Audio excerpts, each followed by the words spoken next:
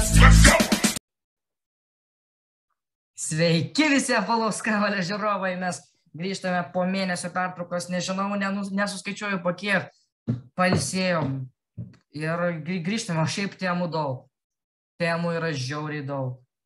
Ir šiandien su mumis be abejo, nežinau, ar jūs jį pažįstat, bet uh, kažkoks bičias, primink, primink savo vardą, užmiršau. Mindėjonaitis. Mindė, baugėjas, jungiasi prie podcast'o. Nu, žodžiu, tie, su Titus Kudu šiandien darysime podcast'ą. Ir titai, titai, kaip sekasi, kaip einasi ir, ir ką manai apie šio mėnesio krepšinį? Gegužės mėnesio tai. Sekas gerai, nuotaika, kaip sakant, gerai, artėja vasara, liko tik tai porą dienų iki vasaros. Savaitę. O apie, Nu jo savaitę, o apie krepšinį, ką, ką apie krepšinį. Nu, kol mes čia nedarėme podcast'o, tai vyko labai daug, labai daug įvyko. Pamenu, darė paskutinį podcast'ą, dar prieš LKL atkintamasias, jei neklysiu. Tada spėjom LKL atkintamasias, aptarėm pagrindinius reikalus ir, nu, iš tikrųjų, labai, labai daug dalykų pasikeitė. Mhm. Daug, daug visokių įvykių įvyko. Jau ir LKL finalo turim, aišku, pirmą kartą istoriją tokį turėsim LKL finalą, bet aišku, dar ten prie tų temų prieisim, bet tikrai šis gegužės mėnuo e, visam krepšiniui buvo tikrai didžiulis ir turbūt na, toks jau tikrai išskirtinis, kuris įsimins e, kaip krepšinio fanui man labai ilgą laiką. Gerai, e, tai va, e, tai gerai, tai pradedame podcastą, aš manau, kad Titui tai patiks ir pradėkime nuo podcast'o, šiaip Titai, dar toks klausimas tau. E, vat, pavyzdžiui, vat, tu per šitą mėnesį, ką nuveikiai? Nes, nes atrodo, per čia, tik čia, čia, čia, čia, čia sėdi. Kada merginas susirasite tai? Nu, čia, kaip sakant, laikas parodys, Edvinai, laikas parodys. Gerai. Nu ką, pradedame. Ne, nenoriu, neno, nenoriu susivesti bet kokios, žinai. Nu, tipo, man, man jau geriau neturėti, be, ne, ne, man jau geriau, man jau geriau. Namie. Jau, jau, jau, jau, geriau, jau geriau iš vis neturėti, negu turėti, žinai, kažkokią, nu, ten. E, nu, vienu žodžiu. Gerai, judam. Geriau namie sėdėti ir užsiminėti vis, visokiais dalykais, jo. Nu gerai. Tai judame prie pirmos temos - Žalgerio fiasko ir fantastinis lietkabelis. Titai, prašau. Ką žinau? Nu, nu ką, ką aš galiu pasakyti? Nu taip, Žalgerio fiasko yra turbūt didžiausia šio klubo istorijai. Mm, tikrai turbūt nėra buvo didesnio fiasko negu šį, ne, ne, ne, negu šį sezoną. Tai, kas įvyko Eurolygoje, gerai, Eurolygoje paskutinė vieta, kaip ir atrodo, nu, ne tragedija, nu, vieną kartą sezoną nepasisekė Eurolyga, vis tiek pati stipriausia lyga Europoje, vis tiek Žalgiris nėra pačio aukščiausio biudžeto komanda Eurolygoje, vis tiek yra pragalo. Bet tai, kas įvyko Alkalenų, Alkalenų čia yra nepateisinama visiškai. Čia yra tiesiog nepateisinama kai komanda, kurios biudžetas yra didesnis už visų LKL komandų biudžeto sudėjus, uh, net nepatenka į LKL finalą, tai aš tiesiog negaliu pa paaiškinti, ne, negaliu paaiškinti, kaip, kaip taip įmanoma blogai sudirbti, kaip įmanoma taip, nežinau, nemotivuoti žaisti, kad tave ploštų lietkablis su kiek milijono biudžetu, milijono su virš, kai tu esi dešimties milijonų biudžeto komanda. Janis Strelnikas ir Džiofrilo Lovernas uždirba abu tiek pat, kiek visa Lietkabelio komanda. Čia, čia, čia tiesiog, manau, pa, pasako viską. Čia, manau, tiesiog pasako viską, kaip Žalgeris šį, šį sezoną susimovė. Jeigu komanda su tokiu biudžetu taip sugebėjo susimauti. O apie patį Lietkabelį, tai iš tikrųjų pati didžiausia pagarba Lietkabeliui už tai, kaip darė šitoje serijoje. Pirmą mačą jam labai nepasisekė. Uh, visi atsimenam tą, kai buvo liko kažkur 30 sekundžių, jei neklystu.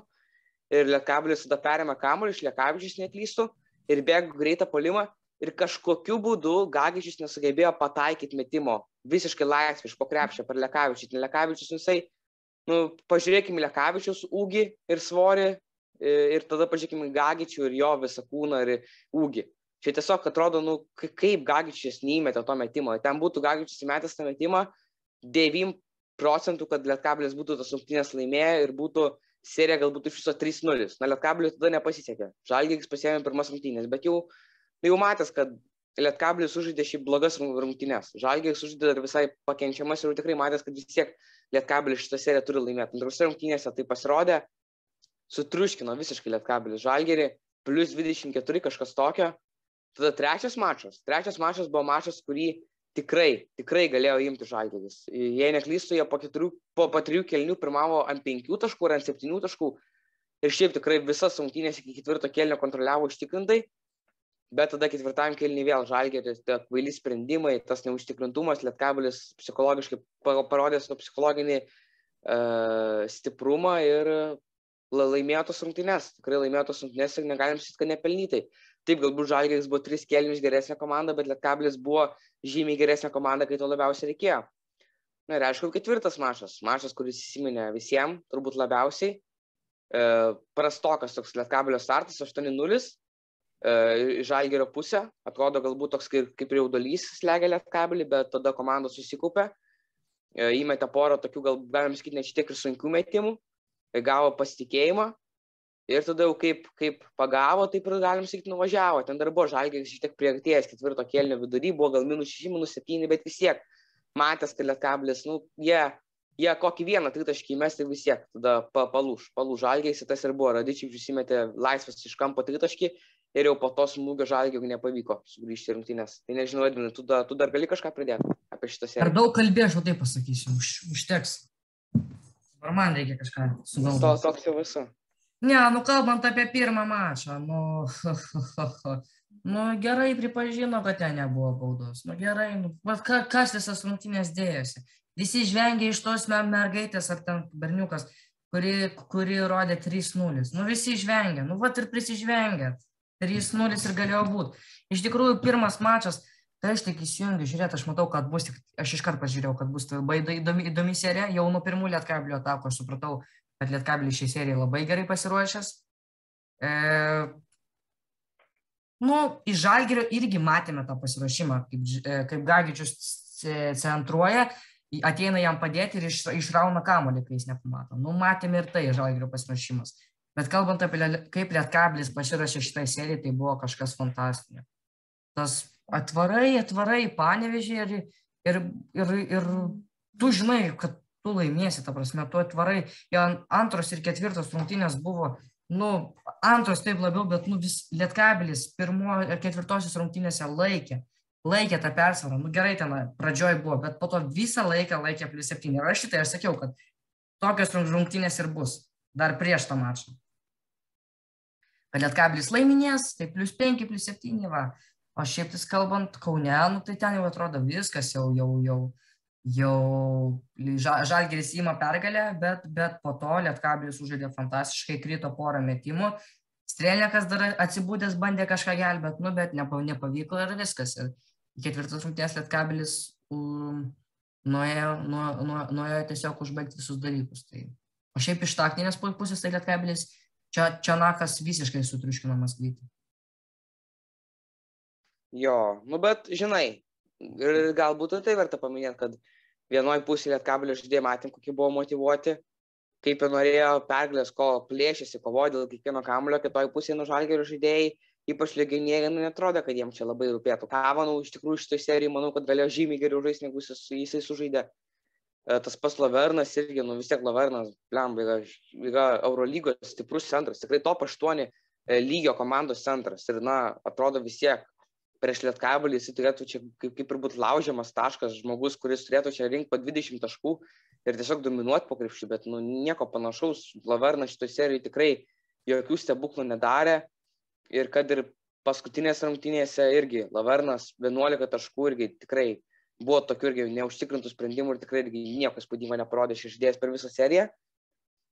Uh, man galbūt dar visą šitą žalgerio fiasko, kalbant apie patį žalgerį, apibūdina vienas, vienas sakinys, kurį Liptis parašė baudos aikštelę savo Facebook paskyroje. Tai yra per keturis metus Kauno žalgeris nuo trečios vietos Eurolygoje uh, sugebėjo da eiti iki trečios, galimai trečios vietos Alkalė čia man tiesiog viską pasako, kaip šita komanda nusivažiavo po to, kai Šaras išėjo ir kiek buvo daug blogų sprendimų atlikta, kad dabar daeiti iki tokios pozicijos, kur tikrai, na, čia buvo pati didžiausia tragedija, tragedija iš, iš sportinės pusės žalgerio istorijai.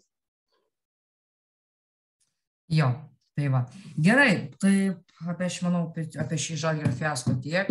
Dabar jau, ši, jau, jau vyksta rungtynės dėl trečios vietos, mes filmuojam dabar, kada šios rungtynės vyksta. E, tai žiūrim, žiūrim, žiūrim, kas toliau einasi. Tai ar Kazis yra Eurolygos lygio treneris? Nu, mano nuomonė, nes kaip aš pradėsiu, tai man nieko nebeliks, aš jau pradėsiu.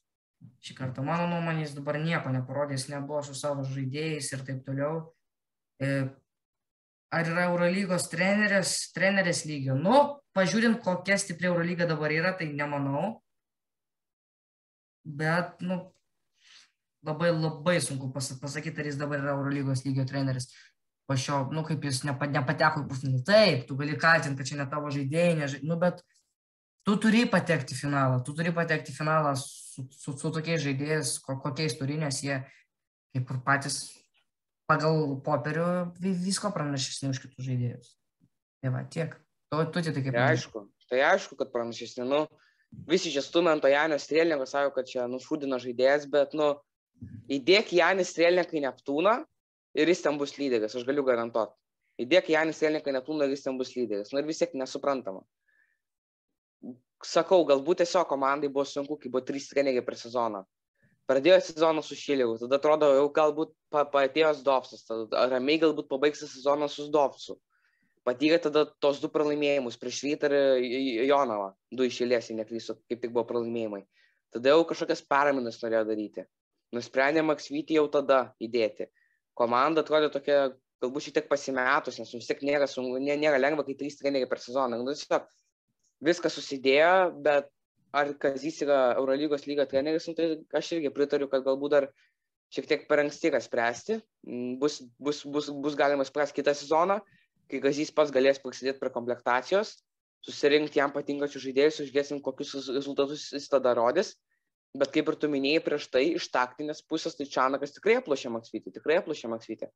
Tikrai Maksvytis tokių, nu, matos, kad ne, neturėjo pastatyti kartais prieš Lietkabelį. Ir tikrai Šanakas buvo, buvo, buvo puikiai paruošęs komandą. Maksvytis, gal, manau, manau, galėjo šiek tiek geresnį darbą atlikti, bet sakau, apie Maksvytį čia tikrai nieko nespręšiu ir manau, kad būtų pats kvailiausias sprendimas iš Žalgerio pusės dabar Maksvytį atleisti, vien dėl to, kad kažkokia, tarkim, sumalė, su sumalė šūdą, nes, nu vis tiek, reikia duoti jam pažiūrėti kitą sezoną, kai susirinks savo sudėtį ir tada, ir, ir tada žiūrėsim, kokia bus, kokia bus situacija. Ar tikrai Maksvytis yra E, Eurolygos lygos treneris. Nu, taip, taip, aš, aš tą patį manau, bet tik tais va toks vienas, kad, uh, kaip sakė, Maskvaitis komplektuos, ar motyvimas nepasims ant savęs visą komplektaciją? Nu, manau, manau, kad, nu, bet jis kai net ir buvo šileris nepasiemė. Vis tiek šileris, gali pusę žaidėjų šitos komandos buvo šilerio. Gifajus šilerio, Strelnikas šilerio, Mūdį, kuris išvyko sezono pradžioje Šilerio, Kavanų Šilerio, Nebau Šilerio, nu kas, kas motyvino, Ulanovas, Kalnietis, tikrai motyvino žaidėjai. E, Milaknis liktis irgi buvo pratęsas sutartis su jo vasarą, irgi motyvino tikrai turbūt toks ištaugimas labiau, bet, nu, sakau, ką žinai, manau, motyvinas aiškus, tai galbūt uh, turės kažkiek įtakos komplektacijai, nu, žiūrėsim iš tikrųjų man dar, dar prie motyvų irgi, manau, dar praeisim per kitą temą. Tai sakau. Gerai, tai Žalgirio žaidėjo, žaidėjų išėjimas į barą po pralaimėto pralaimėjimo ir fanų reakcija į tai. Aš, aš nežinau, ar mes, mes galim pakalbėti galbūt dar, kad plakatas prieš ankstinis dar toks, aš nežinau. Jo, tai dar va, dėl to plakato, bet Žalgirio išėjimas į barą, nu, tai kaip ir kažkas mačiulis sakė kažką ką girdėjau kad tenais į į į kavinę buvo nuėję kad tiesiog pagert nu bet vis tiek po pralaimėtų rungtynių su viskiu rankose nežinau jis ten ką viskį rankose laikė. Bet nebuvo bet nebuvo video kad jis viskį laikytų. Tiesiog buvo video kiek supratau kad tiesiog vebsteris ten vaikščiojo po barą. Nu, ten, nu, iš tikrųjų, čia gal biškai per daug burbulas išpuštas yra. Green White Boy čia biškai jau pasikraščiavo, manau, sakyčiau, nebuvo čia kažkokios jau labai didžiulės tragedijos, kaip jau čia nupasakoju, kad čia didžiulė nepagarba klubui, nu tiesiog, ką, ką, žaidėjai nuėjo, nu ką, ką, jie pralaimėjo, ką jie, ar dabar, ar dabar tragedija, ar dabar jie turi žudytis, ar dabar jie turi į depresuką sėsti, ar jie dabar turi grįžti namo, pasileisti ten kažkokias liūdnas dainas ir tiesiog sėdėti ir apie kažką galvoti apsiverkę. Nu ne, nu ką, pralaimėjo ir tiesiog eina, eina pagerti su draugais, eina pakalbėti galbūt apie tą sezoną, kas nepasisekė ir panašiai. Nematau čia jokios tragedijos. Nu, aišku, nebent ten tie žaidėjai jau ten, kaip sakant, uh, žiauriai, nežinau, galbūt galim pasakyti, taip žiauriai prisigėrė. Ten jau tikrai tokia galbiški ir per daug, bet jeigu tik galim tokį, tokį po, porą laus bakalų įkalę, tai tikrai jokios tragedijos nėra. O dėl to plakato, tai jie liktai sakė, kad buvo du plakatus pasiruošę. Vieną pergalės atveju ir vieną pralaimėjimo atveju, tai nežinau. Nu, Įdomu, koks ko būtų pergalės atveju. Žalgeris grįžta? Nežinau, kaip ten buvo, kažkaip pralaimėjom, buvo karaliaus karūna krito, bet didybė išliko, ka, ka, kažkas ant tokio buvo pralaimėjimui. Kažkas. Tai būtų koks galėtų būti. Karaliaus karūna atsirado, didybė grįžo. E, ne, jei gamtai, tai ką žinau, dėl tų plakatų tragedijos nedarau, nu gal aš gal biškai keista, kad pralaimėjimui pasidarė plakatą, tokių atvejų nebūna turbūt daug, nežinau, bet ir būna, nėra turbūt tokio dalyko darius, kad pralaimėjimui plakatą pasidaryti. Neatsimenu. Nu, tai va, aš irgi kažkaip tokio daugiau atveju neatsimenu, kad būtų, nu, bet aš kaip ir tragedijos nedarau, nu, pasidarė, tai pasidarė. Iškėlė plakatą, vis tiek galbūt parodė kaip ir suportą klubui, kad va, vis tiek mes tikime žalgį ir manom, kad galbūt kitą sezoną bus geriau ir tikim, kad to klubo didybė išliko. Tai nusakau. Dėl plakato ir dėl to išėjimo į barą, dėl abiejų šių dalykų didelės tragedijos nedaryčiau. Tai va. E, tai gerai, aš, na, aš pritariu, bet, nu, tas kažkaip dar kur, kur Kaune fanai pradėjo išeidinėti žalgerio ten iš arenos, kaip buvo minus 5, nu, irgi. Nežinau, ne, nežinau. Ne, nu, ten netik, ten netikri fanai, ten netikri fanai. Ten, ten yra netikri fanai, ten yra fanai, kurie palaiko tik tai pergalės. O tas tokių fanų, žinai, nu, jokios pagarbos ne, negalim jau tokiam fanam, kurie palaiko tik tai pergalės. Nu, čia jau, čia yra pats žemiausias lygis palaikyti pergalės. Nu, Jeigu tu užkalbės visur, kad esi žalgerio fanas, seniai rungtynės, nu tai ir būk tas žalgerio fanas, nepalik komandos vien dėl to, kad jinai pralaimi ten kažkokių, pra, pralaimi tą vieną seriją, nu vis tiek turi tikėti komandą. Ir dabar tie patys fanai, kurie dabar jau čia skelbtis viską žalgerio, čia jau neįsižiūrėti, jau čia man mirus tą komandą, vėl kitą sezoną žalgeris nukals namuose kokį realą ar barsą Eurolygo ir vėl visi atgal į areną. Vėl aš esu pats didžiausias žalgerio fanas nuo pat vaikystės. Man tokie man tokie fanai tiesiog yra jokingi. Bet jų yra visur, jų yra NBA, jų yra Eurolygo, jų yra tam pačiam LKL, jų yra ir futbole, nu, vis, visose sporto šakose yra fanų, kurie palaiko tiesiog pergalės, o ne, o ne pačią komandą. Kas yra kalčiausias dėl žalgerio pralaim šio sezono fiasko? Tai. O kur ten žiūri? Nieko, esu ant teliko pasijungęs tą žalgerį su šiuliais ir užmetu tą rezultatą. Tai va, Kas kalčiausias dėl Žalgėrio prasto sezono, tai, nu, Matejūnas kas daugiau. Tiek Donatas. daug blogus. nu, Donatas gal iš tos kalties, kad netėjo Žalgėrį, bet jeigu, jeigu, jeigu, jeigu rimtai, tai Paulius, Paulius Matejūnas. Du kartus Euro lygos metų GM'as. kaip, kaip iš tikrųjų galėtų, kaip, kaip, kaip gerai, sako Matejūnas, jau galėtų išsiųsto savo du apdovanojimus Šarui pelnytam jo savininkui, kuris tikrai, aišku, buvo skelbta, kad Motyvnas Kadžiemas ir jam už visus to žalgerio laimėjimus trečią vietą buvo kaip ir jam duodami, nu, bet visi žinom, kad ten sudėti komplektavo Šaras, Motyvnas tiesiog padėdavo parašą ant sutakties ir viskas. Ir kai išėjo Šaras, pasirodė tas Motyvno tikras veidas. Ir kiek šį sezoną vien pridaryta blogų sprendimų. Uh, gerai, Šileros leidimą aš dar pateisinu. Jeigu jis matė, kad komanda ten šlubavo. Bet ir tai, kam tada šį reikėjo prieš sezoną pasilikti. Nu, čia vienu žodžiu daug klausimų yra. Bet tada kam mūdijai atleisti sezono pradžioj, kai žaidėjas tikrai turėjo didžiulį potencialą ir nur, ar tikrai jau mūdijai būtų buvęs blogiau už Websterį. Mūdijai bent jau Alkalė būtų game changeris. Mes jau tai matėm. Jis prieš Zukiją sumetė 32 taškus. Websteris nepamenu, kad tokį bent panašų pasirodymą būtų surengęs Alkalė. Tai gerai, galbūt Mūdį, net jeigu jis nebūtų Eurolygoje įsitvirtinęs, bet bent jau LKL, jis, manau, būtų game changeris ir gal net nebūtų tokios situacijos, kad dabar Žalgeris neišeitų finalą. Tada sprendimas keistas Dragišiu atleisti. Kai matėm žmogus dabar Liublianui ten rinko po 12 taškų, Liublianos žaidė puikų sezoną Eurocapė, jeigu ne tas, jeigu ne tas, sakyčiau, jeigu tiesiog nepaprasta sėkmės trūkumas, tai būtų išėję turbūt ir pusfinalį. Ir galbūt netgi būtų ir laimėta patį Eurocapą, ką galim žinoti, nes tikrai komanda Liubliana šis metais buvo labai stipri. Tada ka, kokie dar sprendimai, kam minioto reikėjo? Atsimenu, mes su, su Edinu, su, su tam žvengiam, kam, kam to minioto reikėjo. Nu, visiškai nereikėjo to minioto. Tiesiog pasiėmė žaidėją, kurio realiai jisai nebuvo, jokie esmėjo nebuvo, jis nieko nenuveikė. Kiek 200 tūkstančių maždaug yra tiesiog išmesti į balą. Nu, tiesiog daug, labai daug sprendimų ir viskas susidėjo į vieną, kad taip, kalčiausias dėl šito sezono yra motyvūnas ir manau jisai turėtų per spaudos konferenciją, kuri turbūt bus ten galbūt prieš kitą sezoną ar ten vasarą kažkokios būna spaudos konferencijos, tai turėtų tiesiog pats kaip vyras ateiti ir pasakyti, taip, aš esu kaltas dėl šito sezono. Bet kodėl, aš prisimenu, prisimenu, kaip kaip tenais sezono vidury vieni, vieni visi kaltino, sako, motėjūnai, nu teik pasakyk, nu jis atėjo ir pasakė į tą žalgerio podcastą. Dabar vėl visi sakys, sakys, jis vėl nuės ir, ir pasakys, ne, nes jis nenori, nu, tipo, nu, su, supranti, tipo, vėl visi dabar ant jo varys, eik pasakyk, kad tu esi, eik pasakyk, tu, kad ir, ir jis nuės. Žinai. Ne, motyvūnai šiaip, jeigu rimtai, tai motyvūnai realiai, nu, žmogus negalės pasivaikščiot vasarą po laisvės alėją. Tikrai negalės. Nes uh, jaučiu, tie tokie jau tikri žalgerio fanai, nu, tikrai nemanau, kad yra labai patenkinti šito motyvino darbu. Tikrai nemanau, kad motyvinai bus geras pasivaikščiojimas laisvės alėją su savo žmona. Tai, tai, tai nežinau, tikrai motyvinai laukia labai sunki vasara iš tiek, tiek iš psichologinės pusės, didžiulis spaudimas taip nesusimaut, tiek iš uh, tos komplektacinės pusės irgi visą galėjai komandą iš naujo perdirbti.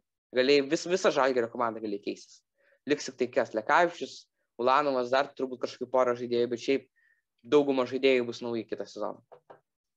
Gerai. Tai va, einam, šitas toks įdomus Dovido Gedraičio tobulėjimas toks geras. Tiesiog fantastika, aš nežinau, jo tie prasiveržimai, nu, wow. Wow. Jo, tikrai kiek jam 21 metai, kiek Dovydui Gedraičiui kažkas tokio.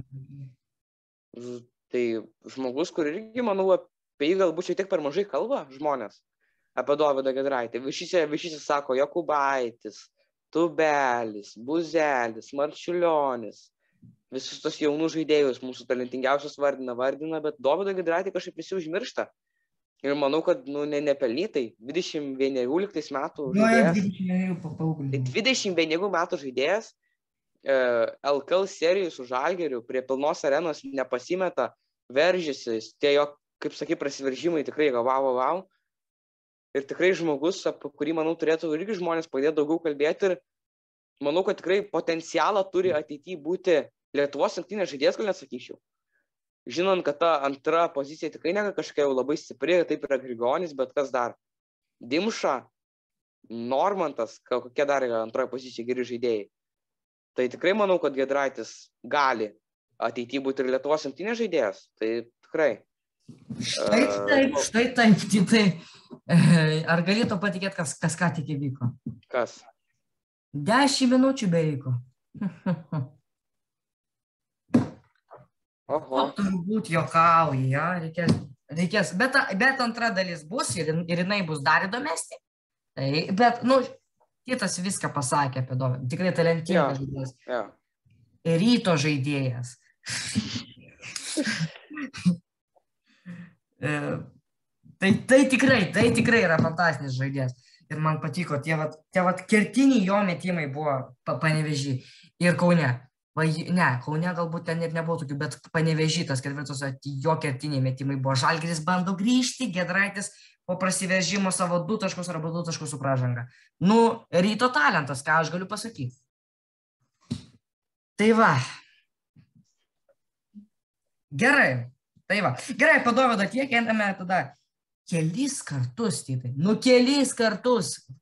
Kelis kartus aš tau paklaus, pa, paklausiu tavęs, kelis kartus Orelikas yra savo vertę pakeitęs. Nu, nu tai pasakyk. Nu.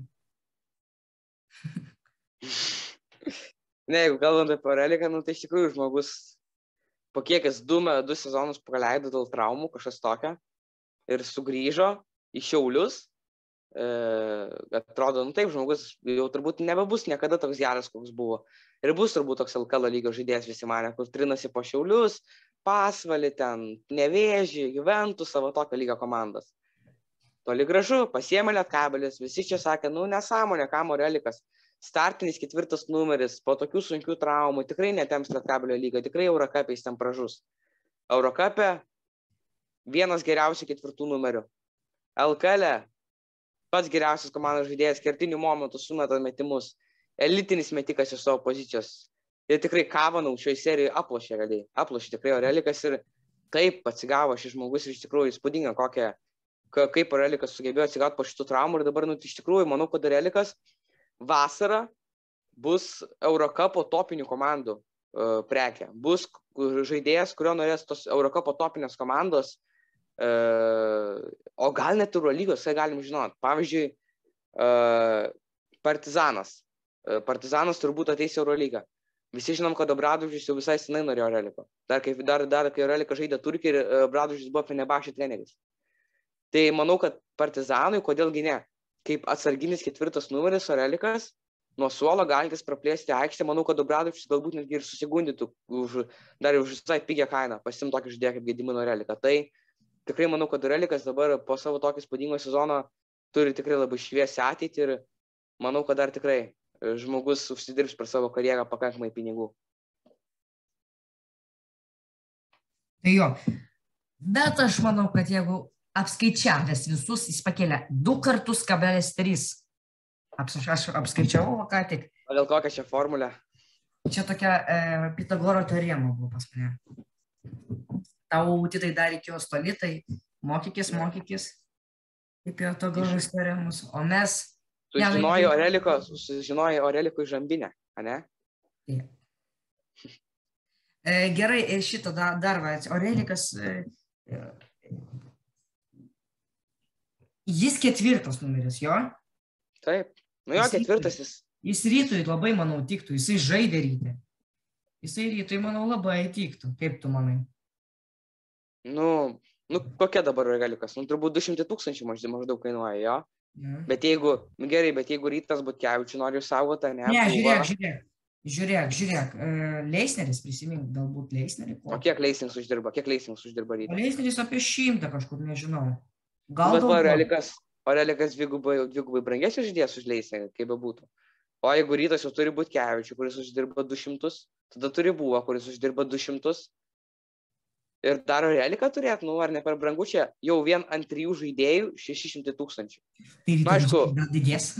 nu jo, pala, jeigu rytas laimė LKL, jų biudžetas kažkaip milijonai gauna, ne iš Fibos ar kažkas tokio. Ką ten gauna? Kažkas tokio, kažkas tokio, jo. Tai jeigu va gauna tokią premiją kaip milijoną iš Fibos, nu tai tikrai kito biudžetas bus didesnis, gal, gal tada tikrai Aurelika. Kodėl ne, Aurelikas ryto žmogus, taip ryte iš tikrųjų žaidęs, kaip ketvirtas numeris, lietuvis plus, kodėlgi ne, bet Bet galim dar vieną variantą. Ryte. Kaip, o, o, o tau patiktų, nu šiaip aš žinau, kad ten studentas ir taip toliau, bet Dovydas Gedraitis ryte tau tiktų? Nu tai aišku, kad tiktų, nu jis man įdomu. Dovydas Gedraitis ir Orelikas ryte, nu gerai būtų. Jis ne, jis ne ką prastesnis žaidėjas už Normantą, kad Gedraitis, tai tikrai tiktų, manau, ir plus labai talentingas jaunas, bet manau, kad Estudiantas jau tikrai norės susigražinti, nes Estudiantas laimėjo tą antrą lygą Ispanijos ir dabar jie irgi keliausi pirmą lygą grįž. Nes realiai Gedraitis buvo paskolintas vien dėl to, nes studentas iškrito į, į antrą lygą ir tiesiog agentas bandė suras Gedraičių, kad netektų jam žaisti antrojo lygo Ispanijos. Ir surado Lietkabelį, dabar vieną sezoną žaidė Lietkabelį, studentas laimėjo Ispanų antrą lygą, išėjo į pirmą ir, ir dabar turbūt Gedraitis jau kitas. Gasoliui ne, ne, nepasisekė grįžti. Ne, savo, gimtąją, savo gimtąją miesto komandą. Ajo, Gasolis Iksais ten žaidė kažkokią antroją lygą, nu, bet ne, ne ne, ne, nepavyko grįžti kaip ir nieko negirdėjau, kad būtų kažkur parašyta apie gasolį. Tai va. Nu tai ką, mm, žiūrim, šiaip jo, galbūt rytui, manau, stiktų.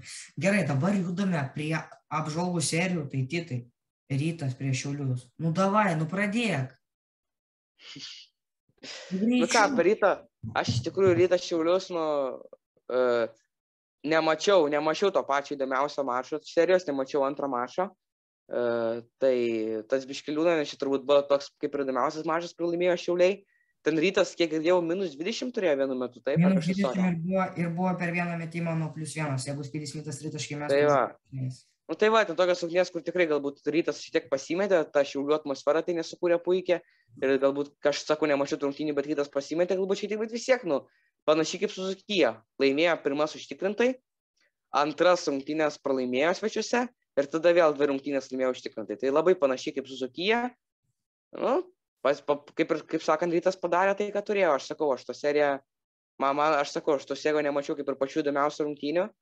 Bet rytas, nu ką, jie vis tiek, nu, pasimatė, kad žymiai stipresnė komanda už šiulius. Iš čia nieko, kaip sakė, neprikurs. Tai, tai tu nematai, nu, tai profų, paprašyk mane, manęs, kad aš čia. Gerai, gerai. Nu, profas, kalbėk. Paprašyk, aš tau čia ne. Prašau, profė, kalbėk.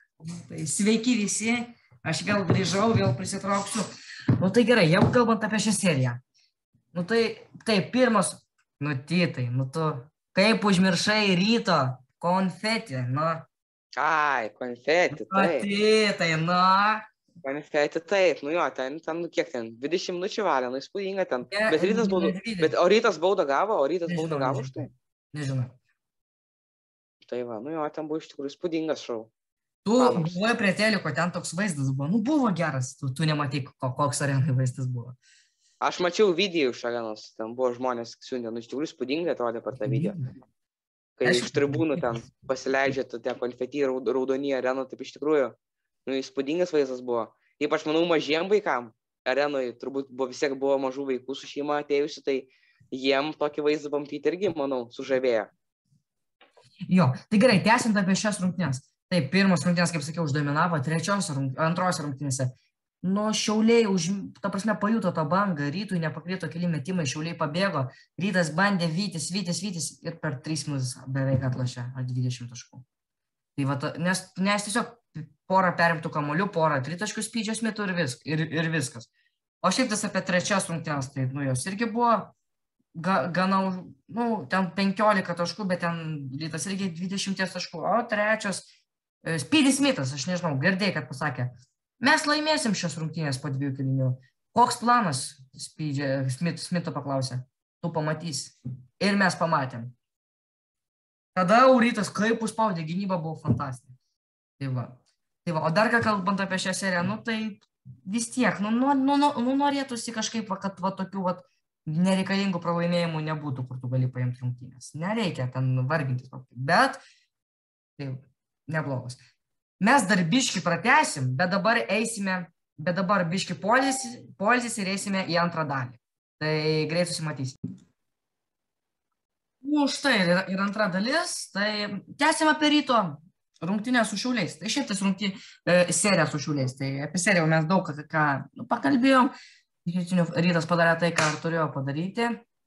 O šiaip tai jau kalbant, nu, toksai atrodo Smithas toksai tik pasijautęs tikrų lyderių ir, ir, ir tokių netikėtų į tuščias leisneris, o jeigu kalbant tai šiaulių, tai pamatėme, kad šiauliai iš tikrųjų yra nebloga, tikrai su tokius, nu, sano, įdomu, pavyzdžiui, šiauliai galėtų laimėti seriją prie žalgerį. Tai dar paeisim prie to, nu, nu bet jeigu, nu, šiaip galima dabar pakalbėti. Pusfinalį. Ai, pusfinalis su žalgeriu? Ne, nu ką, ne, nelaimėtų, ne, ne. Vis tiek žalgeris, nu ne, šiulius mano žalgeris nugalėtų. Nu, nu šiaip iš tikrųjų, Neptūno žalgeris vos nugalėjo, kaip ir, nu, bet jeigu šiauliai dabar su visom savo problemom, jie dabar Elmoga neturi, tai, nu, ne, nežinau iš tikrųjų. Na, bet čia kaip, ka- kas būtų, kaip būtų, tai manau, kad net neverta kalbėti, nu, sakau. Jo, Nebuvo, nebuvo pusfinalio segas šiau, šiauliai žalgeris, mažasis finalas yra šiauliai žalgeris, tai. gerai. Gerai, mes jau kalbėjom apie šitą žalgerį lietkabelį, bet dar trumpai tai apie lietkabelio ir žalgerio seriją.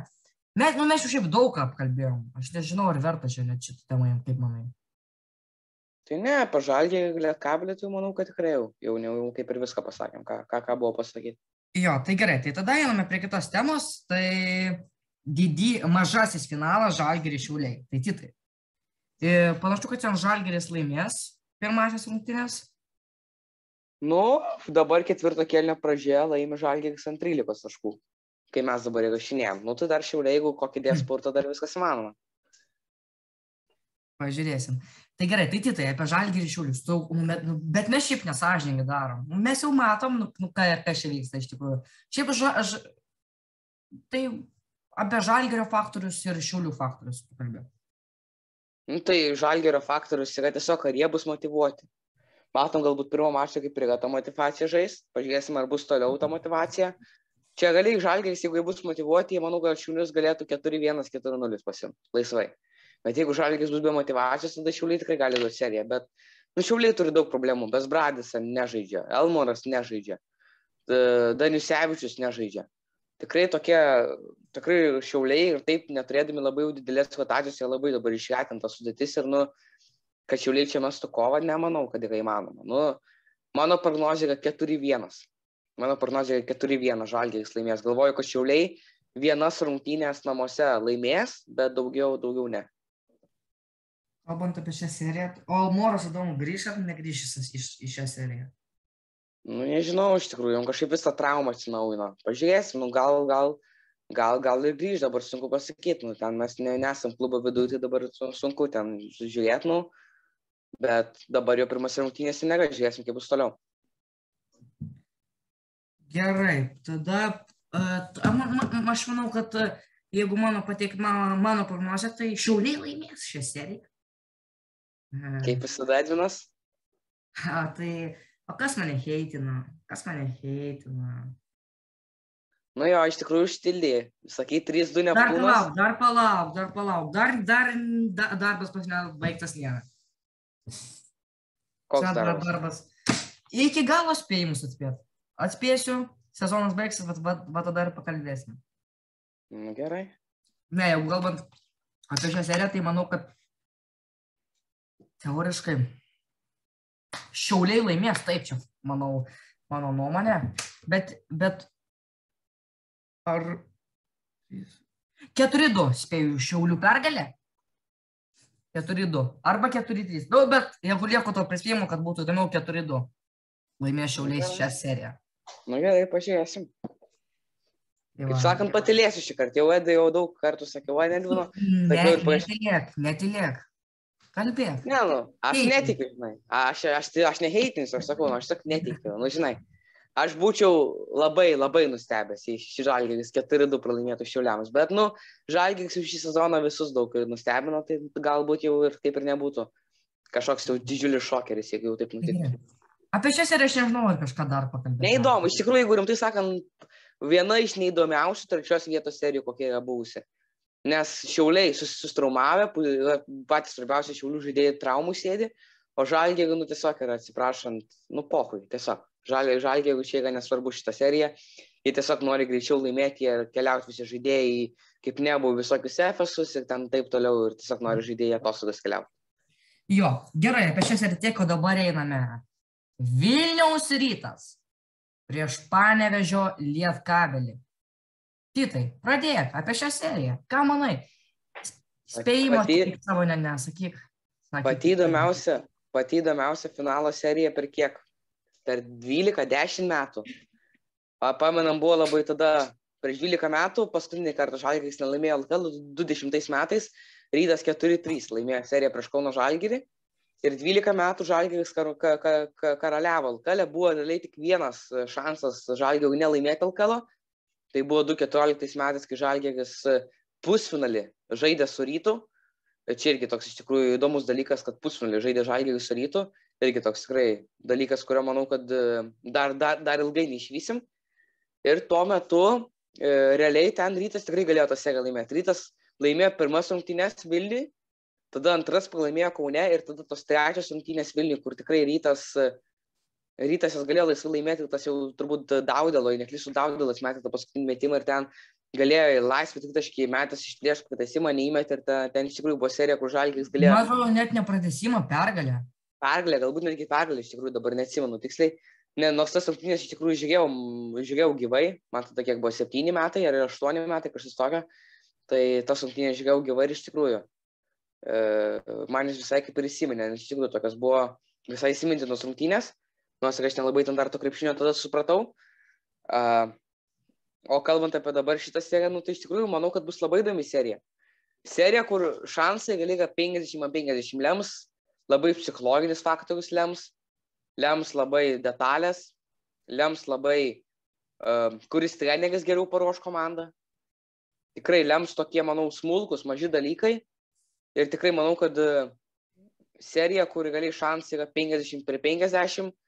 Ir manau, kad ant, tikrai ant tokios serijos statyti pinigus būtų to, vis, visai bloga idėja, nes iš tikrųjų yra labai sunku nuspėti, kas laimės seriją. Tai e, tikrai, dar kaip ir sakai, prognozę savo nesakysiu, tai tu, Edvinai, ką, ką kaip ryto fanas, ko tikėsi, Sakyk prognozes, sakyk. Taigi tu savo jau sakai, man nieko naujo. Mm, tai gerai, nu mano prognozija yra 4-2 lietkablis. Aš jau galvoju, kad lietkablis emociškai bus pakilėtas po, tokio, po, po tokios pergalės prie žalgerį. Ir šiaip man atrodo, kad lietkablis kažkiek atrodo geriau už rytą, nes rytas tikrai tokių atrodo turi kažkokių vis trukdžių, tai kažkaip, vis, taip kažkaip prastokai pradeda, kaip prasakytos tokie nereikalingi pralaimėjimai prieš Zukus, nereikalingi pralaimėjimai prieš Šiaulius, bet kabelis žaidžia užtikrintai, bet kabelis žaidžia su dideliu pasitikėjimu savimi. Rytui vis tiek manau, kad galbūt šiek tiek didesnė psichologinė įtampa e, e, slėgs.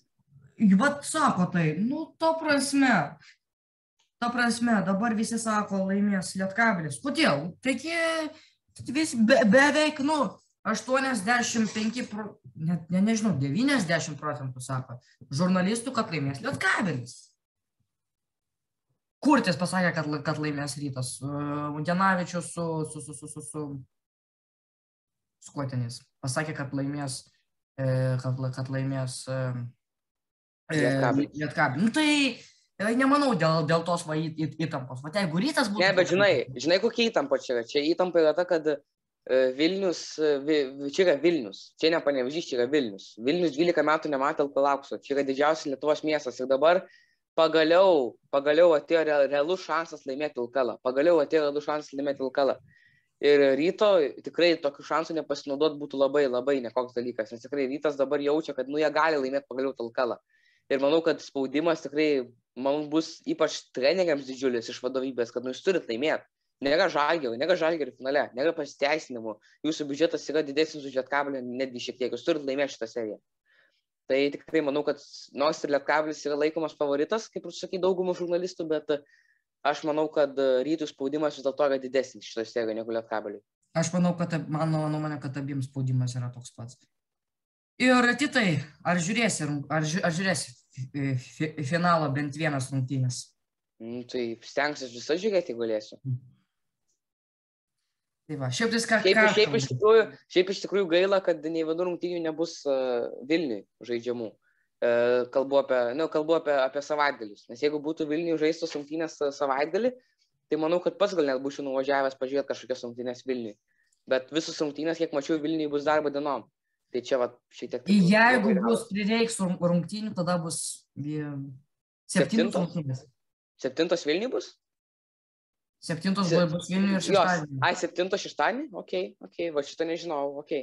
Nu tada dabar, dabar tikiuosi, kad bus septintos rungtynės tada.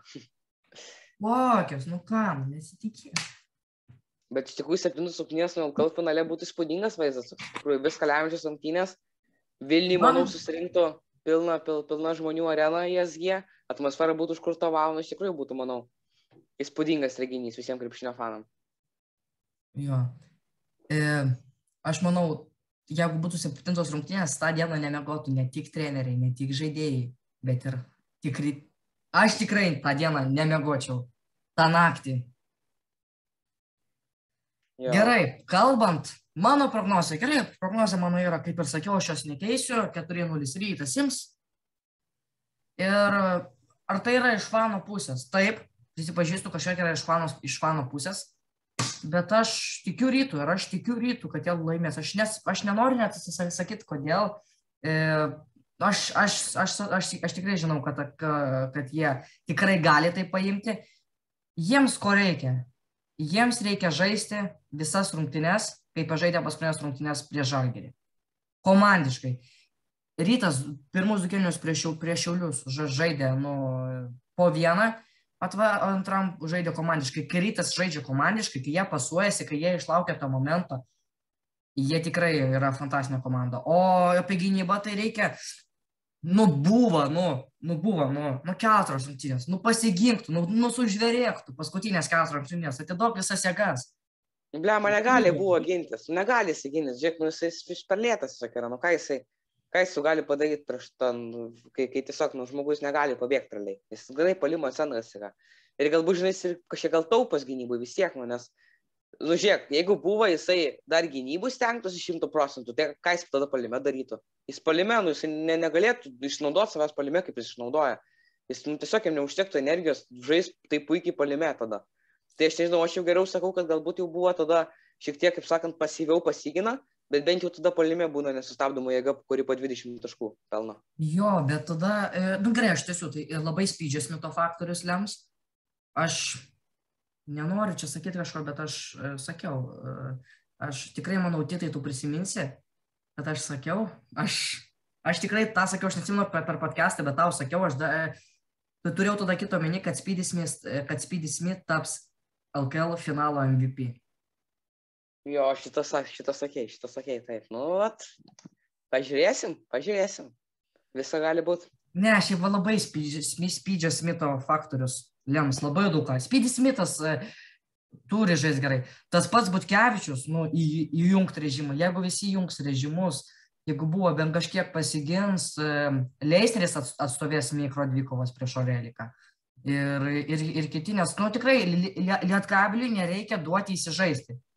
Ir viskas. O, o kalbant apie, tai e, Lietkabliui, nu, tiesiog, kalbant apie Lietkablį, tai Lietkabliui rytų nereikia duoti įsižaisti.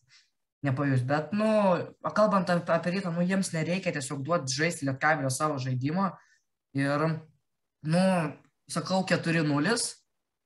E, galbūt. 4-0. Oho. Jo. Nu, lemba, 4-0, nu. Na čia jau, aš, aš jau būčiau nusivylęs, jei būtų 4-0. Jau čia toks finalas, kur pagaliau atrodo, kad gali būti intriga ir tada pis 4-0. Nu jau šiek tiek tai būtų toks man nusivylimas. Aš norėčiau, kad būtų ilga serija iš tikrųjų. Noriu, kad rytas laimėtų, bet noriu, kad būtų ilga serija. Tai va. Tai va, mano prognozija yra 4-0 ir, ir aš manau, kad Mano nuomonė, kad, kad Rizas finale sužvėrės. Va tokia mano nuomonė yra. Gerai. Pažiūrėsim. Gerai, tada apie prognozes tiek ir, ir, ir einame prie tavo atidai tos Eurolygos. Svaigsta čia man visą savaitę apie tą Myčičiaus metimą, nieko ten įspūdingo. Nu, tipo, pataikė, bet... Kaip nieko įspūdingo? Metimas, kaip metimas. Atsiprašau, kaip nieko įspūdingo. Čia aukščiausia klasė. Čia aukščiausia klasė, dar sako nieko įspūdingo. Vat vaikeliai, mes tu man tokį metimą. Esu įmetęs. Su savo, nemenčinę, su savo nemenčinės. Esu įmetęs, esu įmetęs. Tikrai tokio nesimetęs. Va dabar jau čia nepyzdžiu. Ne, ne gimvinerė esu, gimvineris. Bet tikrai, gerai, aš nesakau, kad tu galbūt nesimetęs, bet nesimetęs tokio lygio metimo. Žiūrėk apsisakymą, žiūrėk driblingą, kaip jis išmetė metimą at, e, po driblingo. Ne tai, kad, ne tai, kad pagavęs kamolį ir metė, jis metė nugaliai po driblingo, sunku metimą, metimą, nu, kur tikrai ne bet kas gali mes. Čia aukščiausia klasė, čia Čia, čia, čia parodo žaidėjo charakterį, čia parodo žaidėjo skilsus, talentus. Nu, čia šitas metimas yra, man čia tiesiog pa, parodo, man šitas metimas gali parodo viską apie Myčičiuką, man reikia žinoti, kai kokio talentus yra žaidėjas, kokių nervus yra žaidėjas ir kaip šitas žaidėjas tiks NBA. Nes manau, čia jau taip visiems aišku, kad jis kitą sezoną žais NBA. Jo, tai gerai, dar to klausimas, ar, jis, ar šitas metimas yra geriausias Eurolygos istorijoje, kitai tau? Faktas. Man tai geriausias faktas. Nu, pasakyk tu man geresnį. O dabar čia su... su, su aš tikrai, aš tikrai neprisiminsiu senesnių laikų, bet aš dabar random išau. Ne, tai senesnių. senesnių Fernandės sumetimas, Fernandės sumetimas. Ir vėl savo Fernandės sumetimu. Nu, tai jis buvo gražus. Bet jis nieko nelėmė. Bet jis nieko nelėmė. Ką jis lėmė? Lėmė, lėmė. Ką, ką jis lėmė? Ką lėmė? Jie realų nieko nepakeitė, jie toj pačioj vietoj būtų likę, nesvarbu, ar tas metimas būtų įmestas ar ne. Ką lėmė? Tytas tiesiog ne, nesupranta kažas. Ko nesuprantu? Nu, tu, tai, tu sakai, geriausias metimas, tai geriausias metimas turi kažką lemti. Realų tas metimas nieko nelėmė. Ir Vagnandis būtų lėmė, būtų lėmė, nieko. lėmė realų pergalę. Realų tai, bet, pergalę. bet, bet realų tą pergalę nieko nepakeitė. O iš kur, tu žinai, o gal pakeitė, o gal buvo geresnės, vis... geresnės emocijos būsimas. Jie, jie taip pačioje. Aš nesakau, tas metimas įspūdingas, bet tai jau tada sakyk, printesė jau metimas, finale bent jau. O tikrai ne Fernandės, prie ko čia tas Fernandės metimas? Aš, mat man, vat, kuris buvo gražiausias, tai 2000 2014 metimas, kai, kai įmetė, jo, kai įmetė, kas ten kukas, Daudovas, nesimenu, iš vidurio aikštės. Bet čia vat, buvo man gražiausias metimas Eurolygos istorijoje.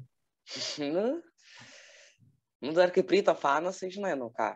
Dar, dar pateisin, dar, dar, galiu šitą pateisinti metimą, bet jau kai Fernandės sumetimą sakai, nu tai jau žinai, jau čia man jau, jau čia tai aš ne, ne, nežinau, kokį tu gali loginį paaiškinimą suvesti, bet Fernandės sumetimas yra geriausias. Tai va. Ne, nekreipkite dėmesio į Titą, jisai toks šiandien. Gerai, gerai, gerai, gerai. Sako, nu gerai, nu, Vasilijos, nu, gražus buvo numetimas, nu, bet Fernandėso gražesnis. Bet, nu, bet tas Fernandės metimas pirmas dalykas buvo fuksas. Antras nu, dalykas keuras, nieko nėra. Keuras, keuras buvo. Bet tokį metimą tu įmesi vieną kartą per šimtą. Vieną kartą iš šimto. Aš tokį esu įmetęs Ir nu, tai gerai, tai sakau vieną iš šimto mes. Čia fuksas. Pirmas dalykas čia fuksas, antras dalykas nieko nelėmė. O Myčiaus metimas, o Myčiaus metimas buvo toks nugrinai talentas ir žaidėjo nervai. Pataikyti pusfinalį, Eurolygos pusfinalį. Ir jeigu, ir beje, manau, kad Efesas būtų pralaimėję per pratesimą, nes Efesą nebebuvo energijos, žaidėjai buvo išsekę, tiesiog nebebuvo jau jam energijos pažaisti. Ir Olimpiakos, manau, šiek tiek su daugiau energijos būtų pratesimą užlaužę Efesą. Ir tas mišrius metimas galiai, man gal, galiu, galim sakyti, kad netgi suteikė FSU šansą laimėti antrą išėlės Eurolygos titulą. Tai va, dar biškiai apie Žibieną, tai va, ką tik įsikėlė interviu ir jis pasakė, čia citata, ne, ne, ne, dar neklausiau, bet susirgaliais esame kitos, kitos emocijos komanda. Kaip vertintų biškiai to Žibieną žodžius? A, o, o, o, o kuri komanda, o, o kuriai komandai kenkia sirgaliai? Parodyk man komandą, kuri kenkėsi ir gali. E, e, pala, pala, prisiminsiu. Gedminų aikštelės e, komandai, ten, kur jie susibūrusi yra. Tai, nu, tai ir man tu savuliui, manau, kad ne aikštelė kenkė, šiaip kenkė jo nesugebėjimo žaisti krepšinę. Gerai, apie Vasilį man, man, man su, su tim čia ginčytis užknisu. Gerai. Uh, apie tas rungtynės, aš nežinau. Nu, rungtynės buvo geros, olimpiakos iš pradžių spaudė, laiminėjo, po to visas grįžo. Aš nežinau. Bet įdomiau einam prie kitų rungtynių. Barsas ir realus rungtynės. Nu, Titai, aš pradėsiu, nes tu po to pradėsi savo šitos pasakas. A, a, da, dar, dar pasakysi, kad Nikola Miročičius metimas iš pokrepšio buvo gra, gražiausias Eurolygos istorijoje. Na gerai, gerai jau čia. Savo metimais. Tai va, tai rungtys šiaip iš tikrųjų neži, nežiūrėjau trečio kėlinio pradžios, nes galvojau, nu, ir turėjau svarbesnių reikalų. Po to įsijungiu, žiūriu, viskas, real, po jo busilės tritaškai ir realas prieki. Wow. Atrodė taip užspaudė antram kelinį juos Barcelona. Viskas atrodė, nu šiandien ims Barsą, galbūt Šarui pagaliau pasieks, bet nieko panašaus realas. Jie buselė, išvardinčiau jie buselė. Ir ka, Kasueras. Na. Jo, bet jie nu, buselė finale. Jie buselė finale sudegė, jeigu kalbant, bet aišku, buselė pusfinale iš tikrųjų spūdingai sužaidė. Ir dar m, mm, reikia paminėti, kad Gosas, realo pagrindinis žaidėjas, rungtynį pradžioje patyrė traumą ir iškrito. Ir atrodė, nu viskas, realui kapai. Jau ir taip komandai trūksta gynėjų ir dar pagrindinis žaidėjas traumą patiria. Nu tai iš tikrųjų atrodo, nu ką jau čia padarysi. Ir iš tikrųjų, iš tikrųjų, kaip ir tu sakai, nu, iš tikrųjų tos rungtynės atrodo po dviejų kelinių čia Barsa laimės, plus 11 Barsa po dviejų kelinių Ir tada realo trečias kelnys iš tikrųjų įspūdingas. 26-11 laimėjo trečią kelnį realas. Ir tikrai parodyta aukščiausią klasę. Neįsivaizduoju, kas Barsai nutiko, atrodo komanda, nu vis tiek patyrusi, turi tų gerų žaidėjų aukščiausią lygą, bet nu, tiesiog sugriuvo, sugriuvo komanda. Nežinau, ka, kas buvo, negaliu net paaiškinti, nesu kažkoks e, psicholo, psichologijos ekspertas, galbūt per anksti patikėjo pergalę, galbūt galvojo, kad tiesiog čia ramiai pavyks susibaigti. Nu, bet sakau, Realo, realo, realo senukai parodė savo klasę ir svarbiausiu metu irgi labai Barsas irgi nepasisekė. Buvo puiku, puikus darinys, kai Barsas pralaiminėjo ant trijų, išverstas Abrinėsui. Ir Abrinėsas metė, kaip iš pradžių atrodė tritaškį, pataikė ir aišku, iš karto jau atrodo puiku, puiku, puikus darinys, Barsas lygina rezultatą, bet jis užminė liniją. Jis užminė liniją ir, na, čia čia, čia labai nepasisekė šitoje situacijoje Barsai ir galiai tas metimas ir pakeitė visą rungtynį. Jeigu jis būtų neužminės linijos, galbūt Barsai dar būtų kažkaip ištraukus tą pergalę, bet bet to, to, barsai, to barsai nepavyko padaryti. Realo, realo senukai penkis kartus pralaimėjo barsai išėlės, šeštą kartą sako ne, šeštą kartą jūs prieš mus nelaimėsit šaro vyrukai ir sugebėjo, sugebėjo laimėti turbūt pačiose svarbiausiose rungtynėse. Uh, jeigu Barsas ten taip reguliariam sezonė, karalius turi laimėjo, bet nu vis tiek Eurolygos pusfinalis yra svarbiau už visas reguliariaus sezono rungtynės ir Realas pačias svarbiausias rungtynės laimėjo, tai kaip dabar ir lygybė tarp Barsos ir Realo. Taip, rungtynės buvo geros, nu taip. Labai vakaras buvo. Gerai, tai einame prie kitos temos, tai mažasis finalas tarp Barsos, mažasis finalas tarp, tarp Barsos ir, ir Oli ir paskutinės printezio rungtynės olimpiakose. Nu, aš to mažo finalo nežiūrėjau, aš tik finalą žiūrėjau pagrindė. Bet, atrodo, ten irgi už Barsą, nu, antrankelinį įdėjau sportą. Ir viskas. Aš tų rungtynių irgi nežiūrėjau, tai dabar nepasakysiu. Nes, nu, realiai buvo žalgis lietkablių, tai kažkaip įdomiau šiek tiek buvo žiūrėti tokias rungtynės negu, negu, negu tai, kas vyko uh, Bel Belgrade. Bet tos rungtynės, nu, ką tas mažasis finalas, jisai, nu, jisai nieko nereiškia. Mažasis finalas turi savo reikšmę tada, kai žaidžia tokia komanda kaip Žalgiris. Pavyzdžiui, Žalgiris, tas ką mažasis finalas yra labai seksualu. Nes pirmas dalykas čia yra derbis, čia yra, kaip sakant, tradicija, žalgys SK, čia yra, nu, čia, čia jau, kaip sakant, yra praeitis, čia yra pats didžiausias praeities derbis Sovietų sąjungoje dar buvusiai. E, ir šiaip, žalgys, maža komanda, jam tą laimėti trečią vietą yra svarbu. Tai, va, tokiu atveju tikrai tos rungtynės dėl trečios vietos yra reikalingos, bet, na, kai žaidžia Barsas su Oli, komandos, kuriuom tikrai ne, jos abi nenorėjo būti, mačiai dėl trečios vietos tikrai manau, kad jom jom tikrai jokio malonumo nebuvo žaisti e, šias rungtynės. Nu, tiesiog Barsa vis tiek stipresnė komanda ir laimėjo tos rungtynės, bet e, aš šitų rungtynių nežiūrėjau ir tikrai ne, neturiu kaip ir nieko pakomentuoti. Jo, tai gerai. Uh, Olimpiakoso fanai. Dar, dar printezė, bet dar olimp... trumpai apie Olimpiakoso fanus, tai aš šiaip labai labai buvo graži atmosfera, jie sukūrė tą ir gaila, kad ketvirtą vietą pasiėmė. Kažkaip nu, norėjusi man vis dėlto, kad Olimpiakosas imtų. Nežinau, kažkaip, kažkaip tai fanai buvo kažkas. Atrod, Nu, atrodė, Atmosfera, atmosfera iš tikrųjų buvo kaip, 11. jiems ne, bet kaip jiems neatsibodo vis, vis, vis, laik ten beveik sė- sėdėt. Jie ten visada atsis- atsistoja, šokinėja. Nu, graikai, emo- emocionalūs žmonės, ne lietuviai, žinai. Mentalitetas skiria žmonių irgi. Jo, ir gerai, ir princesio paskutinės rungtynės karjeros. Šiaip princesio karjera buvo fantastinė ir, kaip sakai, game winneris finale. Ir, ir, ir, kiek pergalių ir taip toliau. Nu, linkime, manau, princeziui olimpiakose toliau likti ir olimpiakose dar labiau iškelti viršų. Beje, dėl to, beje, dėl to printezio legendinio metimo yra iš tikrųjų tokia įdomi istorija. E, prieš tai Olimpiakose buvo treniravęs Jonas Kazlauskas, e, legendinis Lietuvos treneris, turbūt geriausias iš laikų Lietuvos treneris daugumų žmonių nuomonė. E, ir tada, kai Kazlauskas treniravo Oli, Kazlauskas e, neleido printezijai mėtyti jo to tokių kažkokių keistų metimų, kaip ir flauterių, kaip ir neflauterių. E, Ir Kazlauskas sakė, kad čia yra ne- nesąmoningi metimai ir sakė, nemėtik nesąmonių printezijai ir jam draudė mėtyti tokius metimus. Tada Kazlauskas išvyko iš Olimpiakos ir tada, kai atvyko į SSK, tada tame sezone, kai Kazlauskas dirbo SSK treneriu ir buvo finalas Olimpiakos SSK. Ir printezis nužudė Kazlausko treniruojamą komandą finale su savo tuo metimu, kurį Kazlauskas jam draudė, kai buvo Olimpiakos treneris. Tai čia iš tikrųjų įspūdinga istorija, kai kai treneris draudė žaidėjai, būdamas tos komandos treneriu mestą metimą ir tada jau dirbdamas kitoje komandai buvo nužudytas tą metimą. Iš tikrųjų, manau, kad Printezijui buvo iš tos pusės labai smagu, kaip ir Kazlauskai parodyti, va, tu netikėjai manim, kad čia yra geras metimas ir aš tave nužudžiau su va šito metimu. Tai va, gerai. Manau, tiek ir dabar judame prie finalo. Realas Efesas.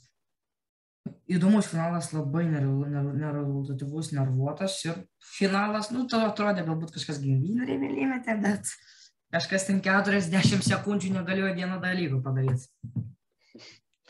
Jo, ten ta pabaiga tai iš tikrųjų kažkas nesuprantama. Kodėl neprasižengė, atrodo, laso gal protų užtemimas kažkoks įvyko, net nežinau. Dubliamo pastatyk mindę prie trenerio. Ir Mindė turbūt sakės, nugi bauduokit, vyrai, bauduokit. Ar, jeigu, jeigu subauduosit, pavodysit šikną po rungtynių. tai, tai sakau, man čia buvo, čia buvo nesuprantama. Kodėl?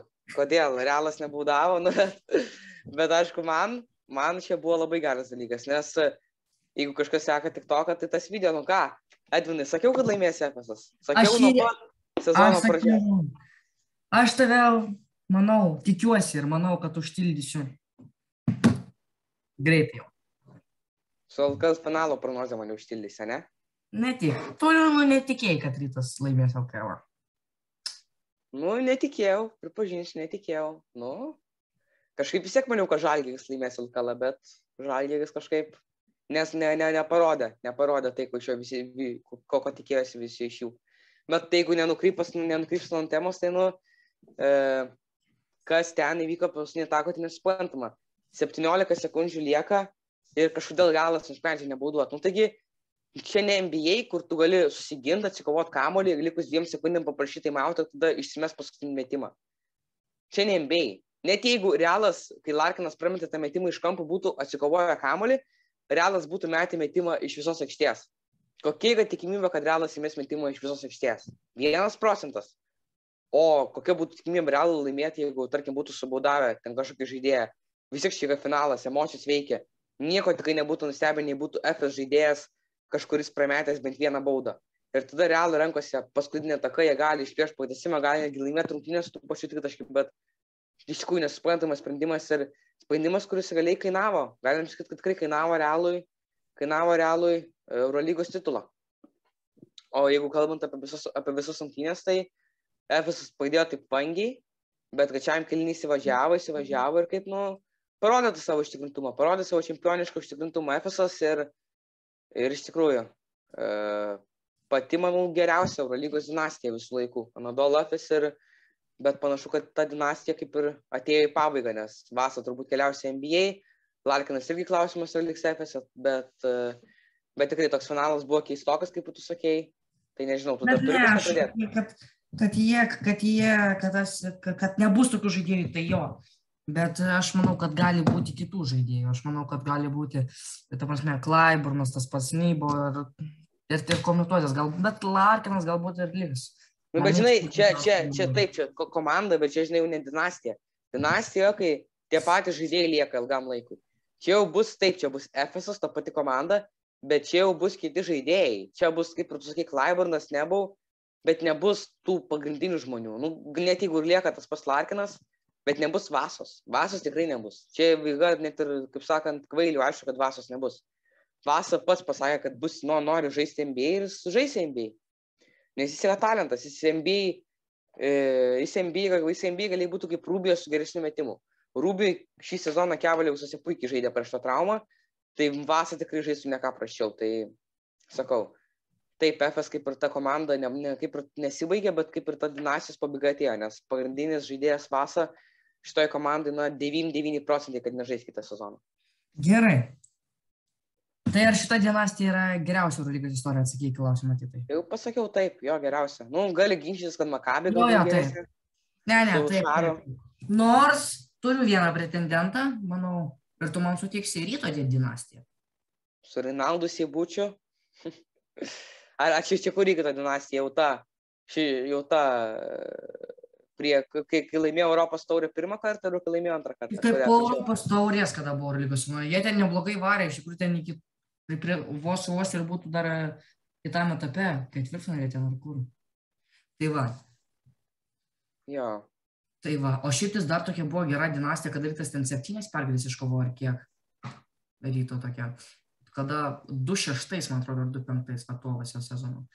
Tai gerai, aš ne, 2-5 Euroką pažaidė, 2-6. E, Jo, jo, 2-6, turbūt. 2-6, taip. Jo. Tai va, tai jo, aš irgi pritariu, kad tai yra geriausia lygos dinastija. Nu ką, artėja podcastas prie pabaigos, bet dabar mes einame prie, aš manau, kitui aktualiausios temos. Tai labiausiai patinkančio žmogaus Lūdžių Lamonikos, kuris baigė karjerą. Aš tau, Lūdžią, kodėl man patinka Lūdžių? Pasakysiu atvirai. tikrai manęs galbūt ir nepatiktų, aš jo dėmesį nekreičiu, kodėl aš Lūdžiui, Lūdžiui di, skiriu didžiausią respektą. O todėl, kad jis atvyko karalius Minugo taurę ir, ir jis buvo pagrindinis teisėjas ir palaikė tą tvarką, kad teisėjimas būtų lygus. Nes pats Karolis Tiškiaučius per podcastą pritarė, kad teisėjai simpatizuoja žalgirį. Aš manau, tu girdėjai. Jo, girdėjau, girdėjau tą taip. Lamonika atvažiavo ir ten, kai buvo pakartojamas po Jankūno dvitaškio, jeigu, e, kaip teisėjas kažkoks pasakė, lygtais e, Jasevičius Tomas, jeigu skaity, neuskaitysim taškus, taurė bus ryto. Aš nežinau tiksliai, kas ten pasakė, bet yra vaizdo įrašas, kur aš po podcast'o galėsiu atsiųsti. Ir ten greičiausiai Jasevičius pasakė taip. Jo, nu jo, Lamonika ten iš tikrųjų spūdinga, kai atvažiavo jis ten parodė klasę, parodė vis dėlto klasę savo Lamonika, kad yra aukščiausio lygo teisėjas ir turbūt daug žmonių sakys, kad geriausias visų laikų Eurolygos teisėjas, nu bent jau modernios Eurolygos istorijoje, galbūt ten uh, seniau ir buvo kažkokių geresnių teisėjų, bet nu, turbūt modernios tikrai geriausias teisėjas. Aišku, teisėjas gavęs labai daug keito, turbūt tas FU Malonė, Lamonika nekarta buvo arenos išgirstas, bet tikrai teisėjas aukščiausio lygio ir tikrai manau, jo truks savo lygai. Bet nu, galbūt jau ir kaip ir buvo laikas, jau vis tiek. Žmogui daug metų jau pražylęs, galbūt jau nebegali tos formos palaikyti, nes jis iš tikrųjų daug žmonių ir nuvertant tą dalyką, kad visiems reikia formą palaikyti, nes jie turi bėgioti realiai, jie turi iš tikrųjų bėgioti paskui žaidėjus, žiūrėti viską ir tai tikrai nėra lengva. Tai teisėjai nėra taip, kad jie galėtų tiesiog savo krepšinio žiniom vadovautis, jie turi ir gerą fizinę kondiciją turėti, galėtų kaip sakant, pabėgioti, o ne tai, kad eiti, nes, nu, teisėjų, teisėjų būnant tik tai eiti vis buvo visai sunku, tai Lamonika, nu ką, legendinis savo lygos teisėjas ir tikrai viena, vienas toks tikrai teisėjas, kuris, manau, visiems Euro lygos fanam įsimins dar ilgą laiką. Taip. Nu kągi, viską greičiausiai, tai, tai šiandien baigiam. Jo, viską, viską mhm. baigiam. Gerai, tai va. Finalai prasideda. Žiūrėsim, kaip bus. Ir e, linkime sveikatos ir sėkmės jums, mūsų žiūrovai. Ačiū. Kada, kada dabar kitas pakestas sezonai? Po, vėl po mėnesio? Gal, gali būti visko. Ne, aš, ne, aš nežinau tiek, tiek, tiek, tiksliai. Jeigu jūs labai podcast'o norit, nu tai parašykit mums, darykit podcast'ą ir viskas. Man, man, man, man Edinai Mindė parašė vakar, kada gražinsi į app. Klausimas toks. Labai, labai įdomus klausimas. Greitų metų. Štai taip.